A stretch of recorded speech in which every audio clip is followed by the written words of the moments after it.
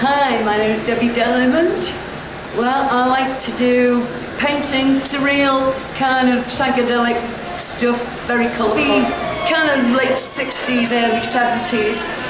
You know, the, the Beatles, Lucy in the Sky with Diamonds, and I Am the Walrus, and all that kind of music that was around at the time that was the backdrop to my life. I've used that to try and capture the essence of the Beatles here today, tonight at the Duck. It's been a fabulous night. Sold quite a few prints, a couple of framed prints, but I, I didn't want to sell the originals to be honest.